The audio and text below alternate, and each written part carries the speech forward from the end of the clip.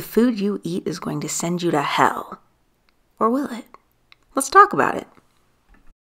Hello, everyone, and welcome back to Sewteriology, the sporadically uploaded show where I sew and talk about things.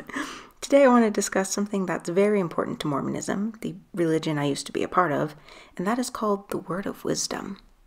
So, the Word of Wisdom is a set of instructions about what believing members are to eat, not eat, and other substances that they are to avoid.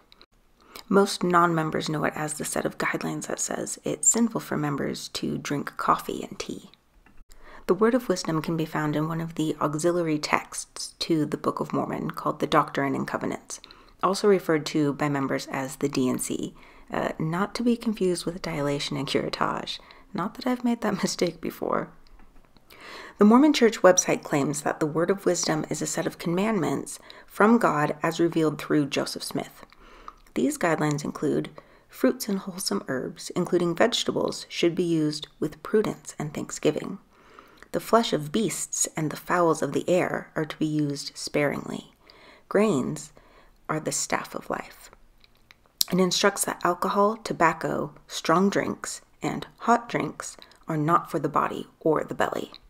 The church interprets hot drinks to mean coffee and tea, but they are totally fine with hot chocolate, herbal teas, and soups. When I was growing up, I was told that coffee and tea are prohibited due to their caffeine content, but also that decaffeinated coffee and tea were still bad, and also that caffeinated soda and energy drinks are a okay. So, which is it? Is it the caffeine content that's the issue? Are members just supposed to obey for the sake of obeying? Some say yes. It seems the church has never been able to really nail down why hot drinks are so bad and should be avoided. I've also come across a letter from 1965 signed by the church presidency stating that decaffeinated coffee was okay for members to drink and that it should not be reason to deny them a temple recommend.